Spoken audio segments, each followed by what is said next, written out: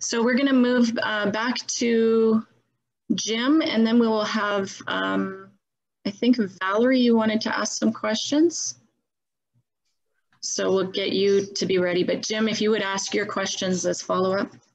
Yes, thank you.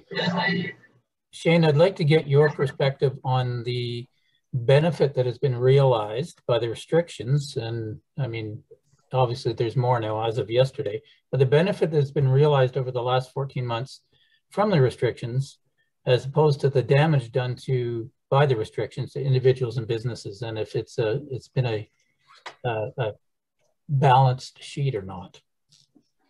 Yeah, James, great question. In the context of that, we won't know until this is over. Uh, like, honestly, you, you, try to make decisions based on the best data that you have at the time. Um, the, the impacts to small business that we had uh, was not specifically COVID related, which was a bugger too. You know, a lot of folks uh, seem to forget that we were at negative oil prices. That has an impact, a ripple effect. And then you have COVID come along, and then you have uh, an oil price war that's taking place and the economy's down. So then we made some, I would uh, uh, propose some uh, decisions we wouldn't make again when it came to which businesses stayed open and which ones didn't, you know, given the facts that you had the rearview mirror now at this point. And again, that was last year. It's, it's tough, James. Like, I honestly don't know if we made all the right decisions. I can guarantee you we didn't. But to uh, guess of where we're at, we're, we're doing the best we can. We're trying to stay middle of the road. There was that, that balance. And I mean, the catchphrase is lives and livelihoods. We took a different tact and took tons of pressure uh, from other uh, provincial jurisdictions and federally for making those choices. And uh, it's it's bad. There's a lot of people in a tough spot right now. And again, coming back to that grass fire analogy, that's why we have to get through this last push so we can get things opened up again. And that's that's literally where we're at. With uh, with the latest uh, restrictions, it seems that the same businesses are being uh, impeded um, without any proof that they are the cause of the additional spread. So I, I well, I don't understand. And and that's the the sticking point. It depends whose proof you're talking about. So again, when they have all the contact tracers looking at some of the outbreaks, the the most you want to you want to try to predict something, try to predict a person. It is the most unpredictable thing in the planet. And I'm not sure how long you've been married. I've been married 20 years, and I still can't predict 100% accuracy of what my wife and I are going to fight about on one some day or another. So when you put that in context, you're dealing with 4.5 uh, people that are potentially moving around. There's no way to predict the unpredictable. So it's a, uh, it's, it's a bit of a bugger. And then the other thing is once you start seeing where we kind of got hit here is these other variants of how quick they transmit. And you can see that in other jurisdictions. We kind of got put behind the eight ball in the vaccinations because that was, you know, supposed to catch it. And then you've got all these other moving parts the thing I think we have at our benefit right now, quite honestly, is the outdoor events. Um, people able to get outside, get some sunshine, such as Joyce is doing there. And, um, you know, Valerie, if you could be outside in the deck, I'm sure you would too. That's the best place, I believe. Because uh, again, anytime you have a, a condensed population in confined spaces, that's just, I mean, you're, you're going to get more spread and, and people are going to come in contact. And we've seen that in cold and flu seasons year over year over year. Um, that always happens and and it always will. It seems to be the pattern of Mother Nature. Shane, if, if, is there any way we could get access to actual data from AHS to justify the latest business closures? Yeah, so you can look at uh, anything on AHS that, that has the information there, and then everything is FOIPable, so the freedom of information. You can literally write in and, and access anything that you want that, that, that can be accessed.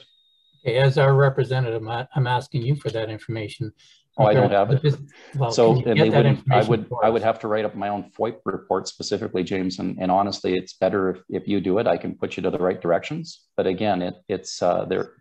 You're asking for something that I, I can't get you. You would probably be in the best position to ask for yourself. I can help you through the process, but I wouldn't feel comfortable trying to get specific information under FOIP that, that you would want. Okay, I will follow up with you on that. Okay, and we can My help you out with that. Whatever the specifics are, we'll try to navigate, and that's that's where I said it's kind of like the juggler going around trying to navigate through the system sometimes too. The last part of my question, sorry, I don't want to take up too much more time, but uh, what does your government plan to accomplish with this latest round of restrictions as of yesterday? And where is the yeah? So the oh, sorry. And where is the proof that these measures work?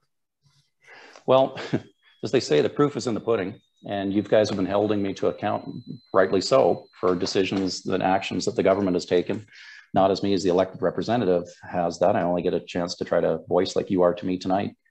Um, what we're trying to do is to slow how many people potentially get infected all at the same time based on all the data and the information that we have with people's behaviors and with all that contact tracing that's been done to date with, from my understanding, consultation with other jurisdictions to see what works and what doesn't. And then we've chosen our own path. So again, this, James, really it's, if, if the trajectory stays at the same time, and, and a lot of people will not believe me, and it doesn't matter because take your own version of it, that it really comes down to the ICU capacity of what is really there for the intensive care units. And if anybody's ever seen what one of those looks like, you'll understand that those people um, put in tremendous hours, effort, etc. And it takes two years to train up somebody new. So we can't just spool up a new nurse who can work in the ICU. That's the issue. So you only have a limited number of people who've been working with this and only a limited number of beds. And what we're really hoping uh, to do is to try to literally um, stop the spread so we don't crash the system all at once. And if that takes a bit of a, a pause here, most people get that again, the end date is to, to make sure we get through this thing and wrap it up, put the genie back in the bottle and get back to normal. So just to um, move on, thank you, uh, Jim. That was excellent. And thanks for the answer, Shane. Uh, just to let you know that all through the pandemic, if you will, there were videos being taken of hospitals and and it's not um, hospitals carla and that's where it gets misconstrued. So i've seen tiktok videos of people jumping around that are nursing staff so i'm talking specifically icus so if you want to talk apples to apples then you have to go to the icu it's not about the hospital capacity. Well, we we managed again, to get the hospital capacity taken care of based on the information we had and there can be as much video or information as you want yes, at a given snap point in time. And what all the concerns are always come back to the same thing which is the icu units which and is I the believe... IC units and the people there that can operate them. So again, you can show me as many pictures as you want on social media, TikTok or otherwise. I think we've yeah. all seen them.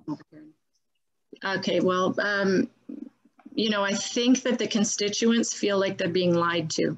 And well, I think the constituents and, and this dialogue back and forth should show that there's a different opinion than what you might possess.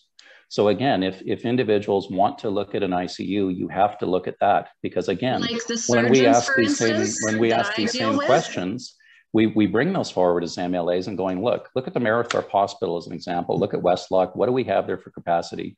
What we looked at doing was trying to push out some of those ancillary services that were taking place in the big centers out to those areas. Westlock was an example of that, of looking at hospital capacity where you could take people that weren't going to be in that ICU stream and push them outwards. That's what has been taking place, and no one is recognizing that. Again, it's ICUs, not hospitals. Which I have already established.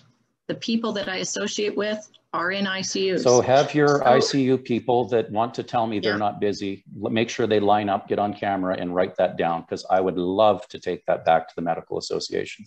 You get the Absolutely. ICU guys that say they're not stressed, they're not tired, no. and they're not doing much. I would love to hear that. All right. Well, um, can we have a guarantee that they won't be attacked? Oh, I will guarantee we'll get them on video. You can stand there with me and we can get them telling us, and against all their colleagues and everything else they're telling us, that they so have they a, abundant capacity in the ICUs and they're just hanging around. I would love to hear that, Carla. Please, I, I would be the first to sign we, up for that. We, we know that tactic. Okay.